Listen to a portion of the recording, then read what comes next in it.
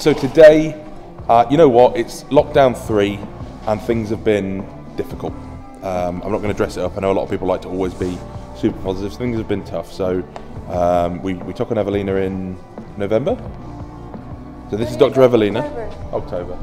This is Dr. Evelina. She's a chiropractor, so she does chiropractory stuff um, as kind of her own entity, and she does some graphics work for us. Um, so Evelina's had less hours than we'd maybe hoped. Reese has had a lot less hours than, than we would normally hope, and things are things are difficult. So today we've got a little bit on. We've got Rob Burke from Full Bore coming down to pick up a wholesale order. Reese is working through mail orders today, and we figured, you know what, while things are quiet, it would be a good time to get some content out there. Um, so we're going to look at some stuff you can do at home. Lots of people have done band workouts, like home workouts. We're going to do more what you can do with a rack. Is that? Yeah. Rather than like this is a booty workout you can do in your front room. That's not very strong. Uh, Evelina is a chiropractor, and um, you are able to come and see her if you've got issues around treatment and stuff. And she'll probably say later what she can and can't do and what she is and isn't doing at the moment because of lockdown. But she can hopefully give us some insights into things you can do for mobility and pain and releases and shit like that. Um, I've got a couple of product videos to do, so we get Laz to do the product videos, so it makes sense to tie all that in.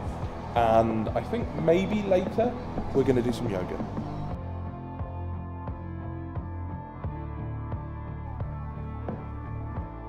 Explain to Laz about our complex um, logistical system and how it works. So orders come in here, we print a label here, and then Reese has the prettiest handwriting. Whoever does the label printing writes on the back of it what goes in, and then and then you put those things in a bag. Who fucks it up the most? Probably me, but I can't tell myself off. Um, so effectively, if I fuck up, I'm just losing me money, and that's my problem.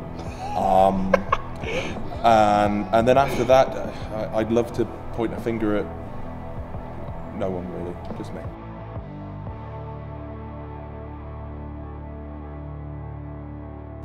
Um, That's the prettiest parcel you ever packed. Oh. They look shit when it's. No, listen, listen, all right? Shh. There you go, that's my whole argument. So there's a bit of a curious thing about supplements. Um, everything within industry, particularly stuff that goes abroad, works under commodity codes. And all of this stuff, um, as far as the council and the taxmen are concerned, is classed as food supplements. So as far as couriers are concerned, they count as food. And food is not insured in transit because I guess if you were sending cakes, you, it would be unreasonable to expect them to be insured. Um, so nothing that we send is actually insured for damage in transit, just for um, loss. So if it gets lost, then that's that's covered. But if it gets damaged, it's not insured, which means it comes out of our bottom line. So that's why we pack stuff so ridiculously. Is this a lesson you've learnt the hard way? Yes. yeah. Um, I mean, we've got a very good relationship with APC who do our, our shipping, and they're pretty understanding. But we used to be with DPD before, and they were just like, yeah, no, nah, not my problem. Like, there was a parcel that had literally, it had clearly been driven over by a van or a forklift truck. Um, and they were like, and? Oh. Like, So heavy. Get it, go get it. that was extremely anticlimactical. One thing that is worth mentioning, if we're going to actually try and promote our business rather than just take the piss out of each other, um, we've got one of the latest dispatch times in the business, and that's because APC are just there. So anything that gets ordered up to five o'clock, or generally like quarter to five, uh, we get a collection at like half four, but we can walk stuff over there right the way up till six o'clock if we need to. We can't guarantee that it'll get packed, but as a general rule, if it's ordered before five o'clock, 99% of the time it's going to go out same day to be with you tomorrow. And by tomorrow, I mean the next working day. So if you order on a Friday, If you're in the UK. if you're in the UK, if you order on a Friday, that doesn't mean you'll get it on a Saturday. You just gotta get, get that cleared up. Yeah. And if you order at nine o'clock on a Friday, you won't get it until the Tuesday, and that seems to really confuse people. Brexit. Brexit. Brexit. How has it Brexit um, was something that I was very worried about. Um, I talked at Reese about it endlessly. Brexit. Pre-Christmas, I was very, very, very stressed about it because potentially, you know, all of our, the majority of our ingredients are imported, a lot of them from the EU, and then we've got a large customer base in the EU now. Um, and then we got a deal, apparently, um, around Christmas, um, and it appears that no one actually read the deal. It was almost just it got to the point where Boris was like, "Well, we just need something to have a win." Oh yeah. Um, so we thought, well, that was great. That that was going to solve all our problems. And then it appears that the deal is not quite as simple uh, as initially thought. So the first few parcels that we shipped got stung with customs charges and things, and uh, we were very worried that it was going to be a massive problem.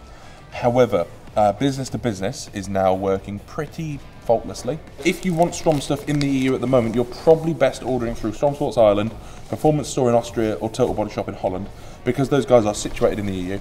The irony being that Brexit, that was supposed to bring money and jobs back into Britain, has made put me in a situation where I recommend that you don't order through Strom and give Reese and Evelina things to pack, but you in fact order through businesses that are in the EU.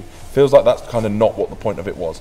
I mean, I, I, I suppose that's the take-home message: is that we're happy to send stuff anywhere in the world, except your own risk. And the important thing to understand, because some customers have been very annoyed, I've seen it before with people in the UK getting annoyed when getting stuff from America. The important thing is to understand that it's not us and it's not the UK charging you; it's your country charging you. That, that's the key. It's not us charging you, it's the country that you receive the parcel in choosing to charge you customs duty. So that money goes to your country, not to us, not to Boris. Um, so it's annoying, but that's that's that's the situation. Sounds like fun. Your own Does that- country's betraying you. Yeah. I'd move.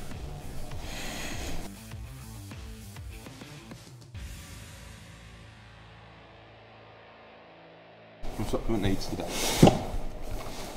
Supplement Needs are one of those brands that we will always stock, despite the fact that we're not so much a retailer anymore, because they just make really good shit. When I formulate, I try and make products that are um, a really good balance between kind of effectiveness, value for money, um, do the job really well. And Supplement Needs is a little bit like what's the most comprehensive way we can do this for? So they do um, the liver stack, CV stack, and Astrag Flow, uh, and that's their three on-cycle support products. It's about 120 quid a month, um, as opposed to Support Max, which is 40 quid, which obviously isn't anywhere near as comprehensive, but it's still very good. Um, so if you're kind of like a money is no object person, their advanced health stack is a really, really good option. Um, and it complements our products really well because they, they operate in different price points but the same kind of field, you know? I wonder what we got today, because um, last time he opened a parcel from these guys, uh, we got this.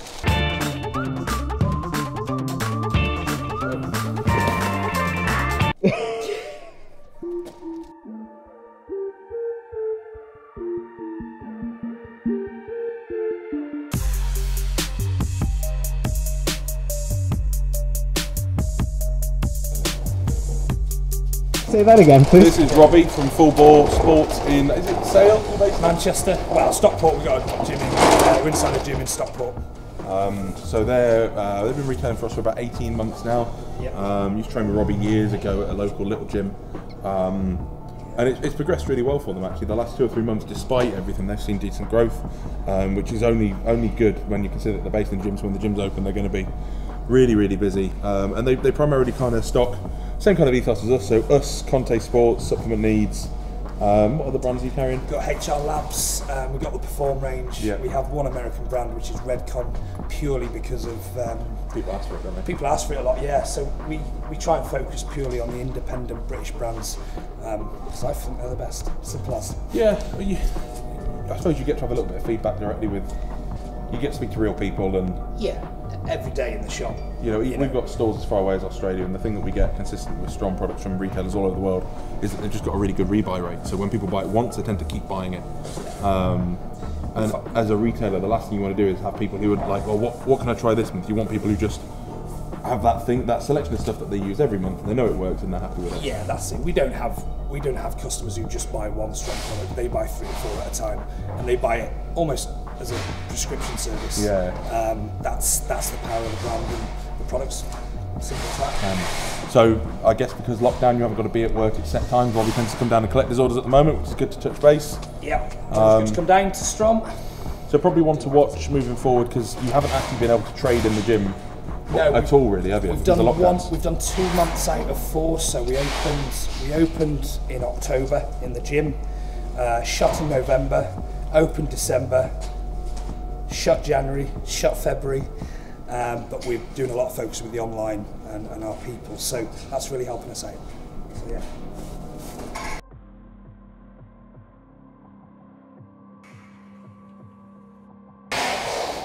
Oh, uh, um, So the thing we were going to do, I was going to say this year, but last year it all kind of merges into one. Um, the thing we were going to do last year, I like how quiet they are. Yeah, no, me too. The thing we were going to do last year um, was America. That was one of the big focuses. So a big push on Europe with FIBO, and then America. I'm not going to push on Europe at the moment um, until we know exactly what's happening with Brexit and things. Although we have a system moving forward, it's not as slick as I would like it. Okay.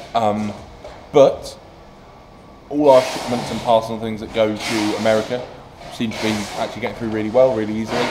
Um, but the shipping costs are quite high for an individual.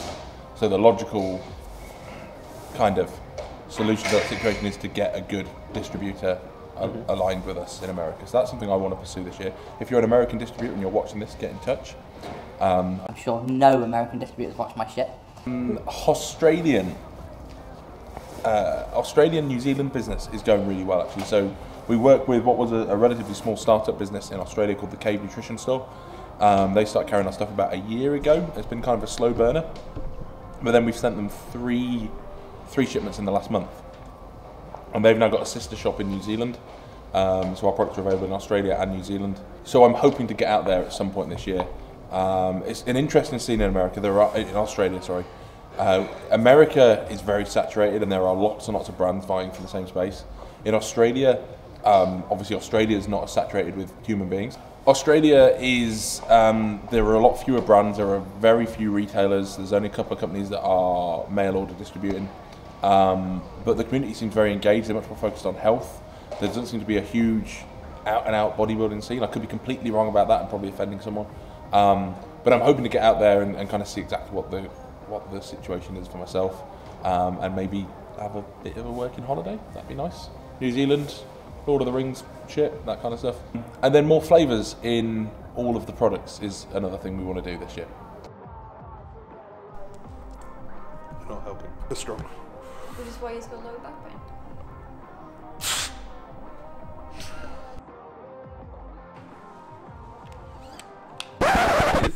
Would you like to inform me what is happening? Well, Rose does yoga on a Sunday with mummy, don't you? Yeah, and you watch. And I watch because I'm not very flexible. Yeah, this bit here. And Rose said the other day, Daddy and Reese should do this at work because it'll help with their exercise, didn't you? Yeah. Yeah. So what are you going to do, Rose, with Reese? Help him to do this. Help him to do. Yeah, I can flat this out really good. You can flat it out really good. Do you want me to hold your cookie? Well, I was going to suggest that we go in the office to do this because it's nice and warm in there. You want to do it in here, Okay, even though it's really cold and the only person that's warm is Reese. I'm good with that.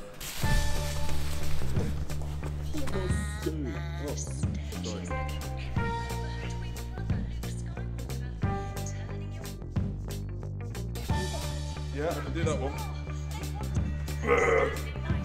That's not a thing. Yeah, the bar's I'm put that arm around there and reach around and grab myself. Yeah, and you're bendy. That's good that you're saying it. I'm just not very good, Rose. That's why you're supposed to reassure me and tell me I am. That means he is very good. What did she say? You're not good. Thing is, man, she's honest. Are you sure I'm not good? Um, well, so trying to do anything with Rose post nursery is tricky because she's kind of like her attention levels are not there. Um, and I made the mistake of giving her a cookie pre yoga, quite distracted. You know, like we've always been super positive and happy in Strom videos. Um, but at the same time, I get a lot of feedback on Instagram about, oh, you guys are super real. You know, the reality of it is at the moment that things are challenging as a business, but they're a lot less challenging than if you own a gym or a restaurant. So things could be a shite sight worse, and all we've got to do is see this through until the gyms open up again, and um, we'll be we'll be cool. Um, but it would be perhaps slightly misleading to sit there and go, yeah, everything's amazing and sunshines are coming out of our hoo ha's and whatever. Um, so the tone's a little bit different, I suppose, to most of the normal Strom content we do. Um, and I don't know if that will work or if um, I'll look like a negatron. I don't know. I don't know. Do you know?